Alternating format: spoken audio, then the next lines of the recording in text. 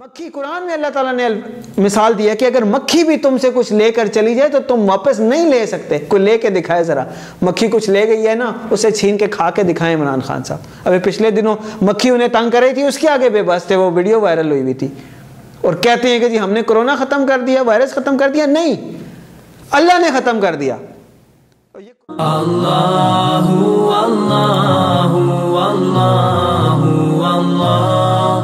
तकबर आप की हदीस का मफहम है कि तकबर अल्लाह की चादर है, उसको मत खींचो। अल्लाह की, यानी एक मिसाल समझाने के लिए कि ये सिर्फ़ अल्लाह को रास है। उसको जो खींचने की कोशिश करेगा, अल्लाह ताला उसको दुनिया और आखिरत में जलील कर देगा। एक तो शिरक, ऊपर से किबर, ऊपर से गुरूर और तकबर ऊपर से सीना जोरी। फिर अल्लाह की मदद कैसे आएगी? और डू एग्री ये तो दुनिया के सामने मिसाल बनती जा रही है कि इतना कॉम्पिटेंट बंदा भी अल्लाह की मदद के बगैर नहीं जीत सकता। अल्लाह की मदद के बगैर कामयाबी नहीं हासिल कर सकता।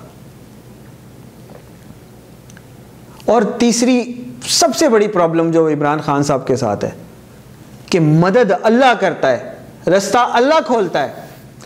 कामयाबी अल्लाह देता है और दावा अपने ऊपर ले लेते हैं। हमने ये कर दिया, हमने वो कर दिया। ओ भाई अल्लाह ताला का अजाब होती हैं, ये जो मोजी अमराज होते हैं, ये जलजले आफतें। ये अल्लाह की रहमत है कि उसने हमारे ऊपर उस, इस कोरोना, इस मोजी मर्ज की वो वाली चीज़ मुसलत नहीं की जिस कदर दूसरे ममालिक में हुई है, दूसरी जगहों पे हुई है। और हम क्या कहते हैं कि हमारी पॉलिसीज़ की वजह से ख़त्म हो गया। अल्लाह ताला को ये सख्त नापसंद है चीज़। बड़ाई अल्लाह के लिए है। रहमत अल्लाह की तरफ़ से है। मुसीबत अल्लाह की रहमत से टलती है। कामयाबी अल्लाह की रहमत से मिलती है। इमरान खान साहब नौजुबिल्ला नौजुबिल्ला अल्लाह ना करे कि कोई चीज़ आपसे हुई भी हो, हालाँकि नहीं होती इंसानों से तो भी आप उसको रिगार्ड अल्लाह से करें। इंसानों से तो होता नहीं है कुछ। एक रोटी तो आप कमा नहीं सकते। एक मक्खी कुरान में अल्लाह ताला ने मिसाल दिया कि अगर मक्खी भी तुमसे कुछ लेकर चली जाए तो तुम वापस नहीं ले सकते। कोई लेके दिखाए ज़रा। मक्खी कुछ ले गई है ना, उसे छीन के खा के दिखाए इमरान खान साहब। अभी पिछले दिनों मक्खी उन्हें तंग कर रही थी, उसके आगे बेबस थे, वो वीडियो वायरल हुई हुई थी। और कहते हैं कि जी, हमने कोरोना ख़त्म कर दिया, वायरस ख़त्म कर दिया? नहीं। अल्लाह ने ख़त्म कर दिया। और ये कोरोना से लड़ेंगे? नहीं। कोरोना से नहीं लड़ सकते आप। आप अल्लाह की पनाह ज़रूर मांग सकते हैं और अल्लाह ताला आपकी हिफाजत करेगा। तो ये दो तीन प्रॉब्लम्स हैं, उसकी वजह से सो कॉम्पिटेंट आप उन्हें कहते रहे, उन्हें कामयाबी ना मिली है, ना मिल सकती है। महँगाई से महँगाई होती रहेगी, मसाइल से मसाइल बढ़ते रहेंगे, जब तक अल्लाह से चीज़ों को एट्रीब्यूट नहीं करेंगे, जैसे दुनिया पूरी के सामने सजदा किया कबर पे, उसी तरह दुनिया के सामने उससे ताइब भी हों उनको बताएँ कि ये काम गलत है, मैंने गलत किया। फिर देखिए अल्लाह ताला कैसी कामयाबी देता है। फिर जो रियासत मदीना का आपको शौक है ना जेनवन उसको शौक को, नीयत को वैसे करें। लोगों को खुश करने के लिए नहीं तो फिर अल्लाह भी आपकी मदद करेगा इन और यहाँ तक कि आपने लोगों के सामने अपना इमेज ऐसे बना दिया है कि अपनी प्रेज के लिए ऐसी कैंपेन चलाई हुई है कि इमरान खान को लास्ट होप कहा जा रहा है। लास्ट होप सिर्फ़ अल्लाह है। कोई इंसान इनडिस्पेंसिबल नहीं है। नबी मुकरम सल्लल्लाहु अलैहि वसल्लम अल्लाह के आखिरी नबी हैं।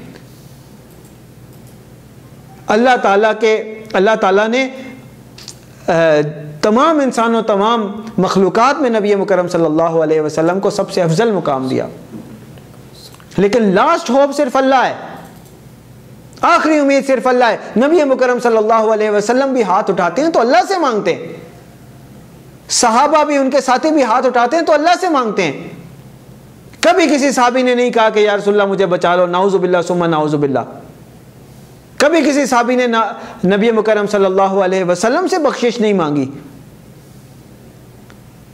जिसने मांगा, अल्लाह से मांगा। जिसने एट्रीब्यूट किया, अल्लाह से किया, और यही नबी मुकरम सल्लल्लाहु अलैहि वसल्लम बताने के लिए आए लास्ट होप सिर्फ़ अल्लाह सुबहाना व ताला है।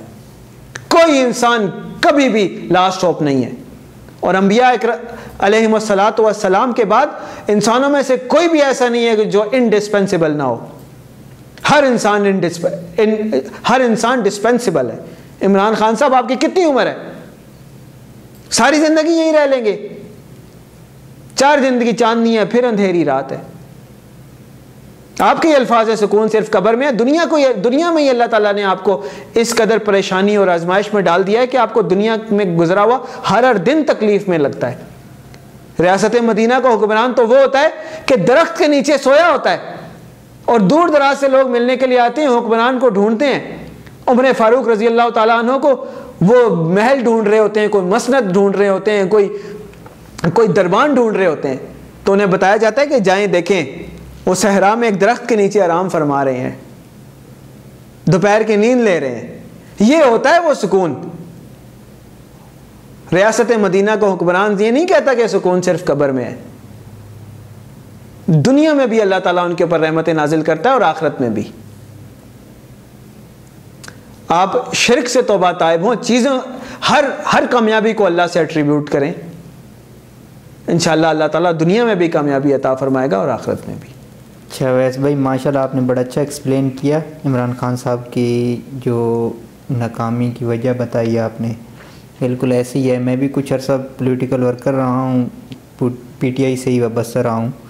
तो बिल्कुल ऐसे ही नारे लगते रहे हैं कि लास्ट ऑफ़ इमरान खान साहब हैं।